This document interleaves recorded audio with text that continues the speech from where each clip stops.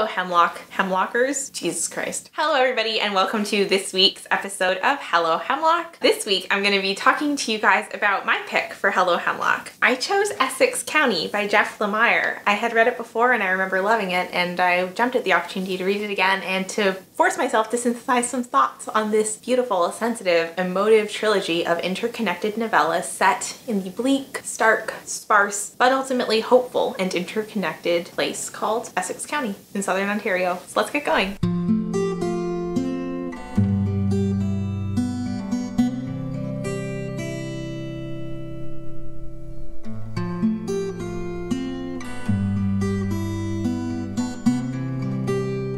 What I really want to focus on for Essex County is the question of what does hockey in Essex County say about Canada as a nation? Why do we like hockey so much and how is it dealt with in this amazing, excellent book? So we all know hockey is a huge part of Canadian identity. I'm not a sporty person, obviously, my body is a train wreck, but even I know like who Mats Sundin is or Wayne Gretzky, she said, listing the two most famous hockey players in the nation. Regardless, I've been to the games, I know the names, I even have some autographs. It's kind of inescapable if you live in Canada. Why is Canada so nuts about hockey? What gravitates us to this strangely violent winter sport? Lemire opens up book two in Essex County called Ghost Stories, my favorite of the three also, with a quote by Stephen Leacock about hockey. Here's what Stephen Leacock has to say. Ahem. Hockey captures the essence of Canadian experience in the New World. In a land so inescapably and inhospitably cold, hockey is the chance of life and an affirmation that despite the deathly chill of winter, we are alive. Stephen Leacock in Essex County. Basically, we assert ourselves over our horrible cold landscape and feel hope and we feel vitality. And that sort of works. In uh, volume one, our protagonist, young Lester, his room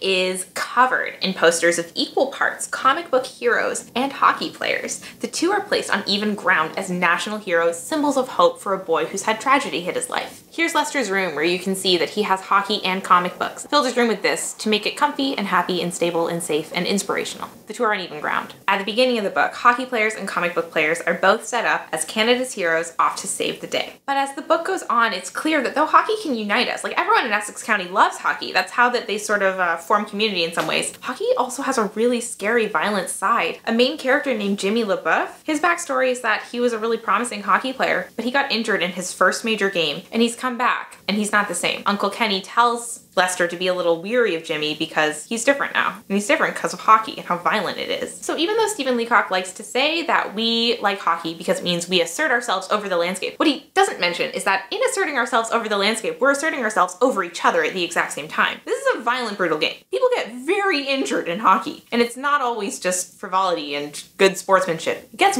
real. What I really liked was that in volume two, Ghost Stories, Lemire does very interesting things with how intimacy, violence, and hockey all work together in a twisty web of Canadianness. So here's the plot line. Lou and Vince are our brothers. They're both competitive hockey players. And we're getting told the story from Lou's point of view as an old man. Vince has died at this point. So here's the little episode. Lou and Vince are playing hockey on the same team. Lou knows Vince could play harder. So he shows how well he knows his brother by picking a fight with another player, purposely losing. This makes Vince play really, really hard. He scores two goals, he gets a ton of buzz, and they win the game. And the panel reads, he was unstoppable like a bull. And we see Vince charging down the ice. So why I point this out is because it shows how violence and intimacy really work together on the hockey field. Lou shows how well he knows his brother and he shows how much he cares for him and how much he wants him to succeed by picking a fight, by getting injured, by purposely getting hurt on the hockey ice. The two really act as in tandem forces. You can't really get one without the other. And Lemire really hammers this down because he repeats the exact same words later in the book, but with a twist. Basically, later in life, Lou remembers a moment where he and Vince are older. They've been distant for a number of years because of a secret betrayal that I won't spoil for you. And Lou tries to repeat the past. He tries to manipulate his brother's emotions the way he did on the ice and get him to succeed and connect. Ultimately, that's the goal, right? But it doesn't work because they're not intimate anymore. They're not close anymore. Basically, Lou says something to get a rise out of Vince, and we get the exact same words. He was unstoppable like a bull. And we think, great, they're gonna connect again, right? But no, there's no more intimacy between the two, and the way this is displayed is through a conspicuous lack of violence. Lou wants Vince to punch him,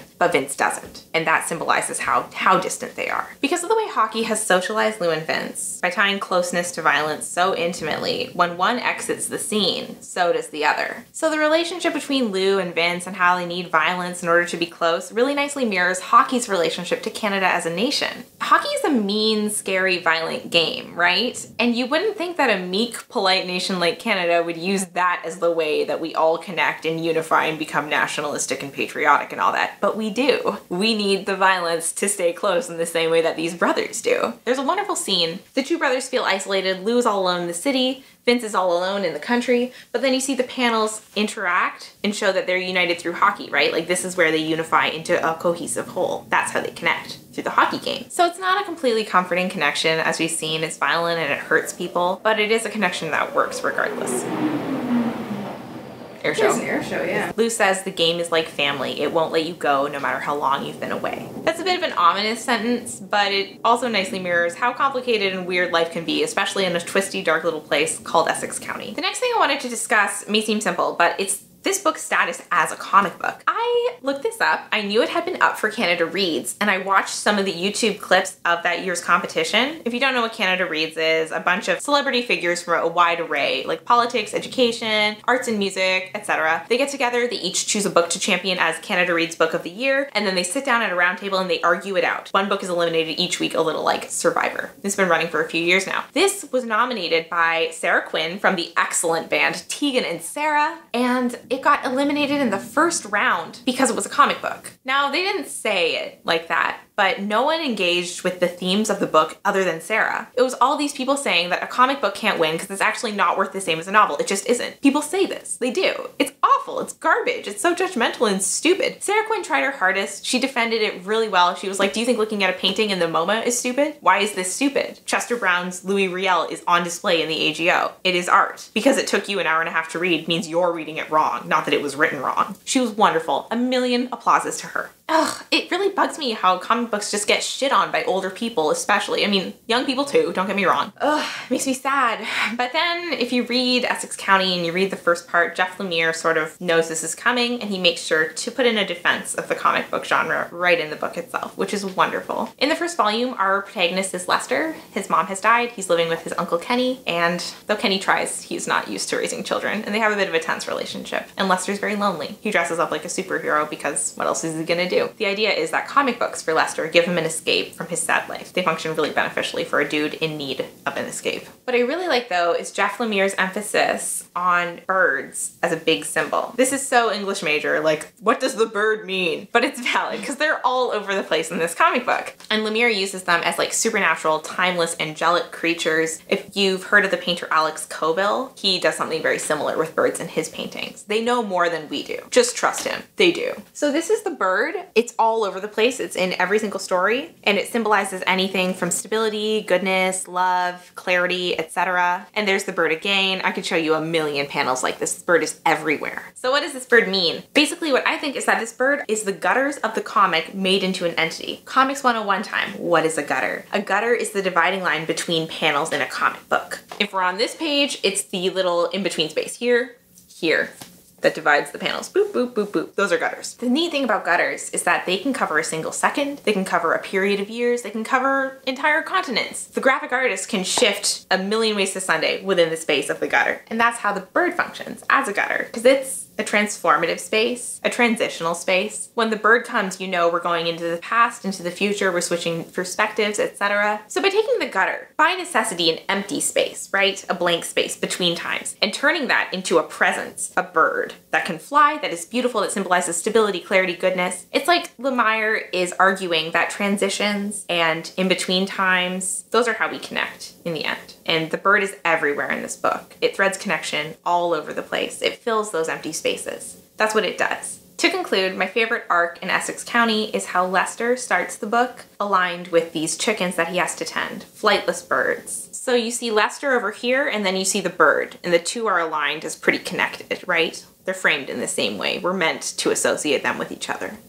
Basically, Lester is aligned with a flightless bird, something grounded, something that is kind of stuck and sad. Like this chicken's in a cage. It's not excellent, right? But as the book continues, we see less and less of those grounded chickens. And that bird that I pointed out is in flight more and more of the time. As Essex County comes into view as a really interconnected space where everyone is related to each other in some form of intimacy, the bird is constantly in flight. And it's not a coincidence that at the very end of the book, we see a family tree outlining how everyone is connected. And then we see the last panel, that bird flying. So just to show you, here's the family tree, and then only a few pages later, here's how we end. The bird is flying up, up, and away, and there it is. It's a really wonderful, expansive, hopeful way to end a saga filled with as much sadness as Essex County is. It's actually a very optimistic ending. On the whole, I really, really liked Essex County. Um, I have one big criticism, and this will surprise absolutely none of you. My bar for women was really low after I read Jeff Lemire's six-part series, Sweet Tooth. It was justified, again, in Essex County. Seriously, you would think that this is like a dystopian society where women are either all dead or like left. Seriously, the first two volumes, they're all dead. They're all dead. The volume is entirely about a woman, which is nice, but okay, cool. Just so you know, a billion percent dudes up until volume three. So that's it. Hockey, Birds in Flight, comic books, Canada, ladies. I'm out, y'all. Thanks for Hello Hemlocking with me. So stay tuned for the other lovely Hello Hemlockers opinions on this book in the next few weeks. Bye, guys.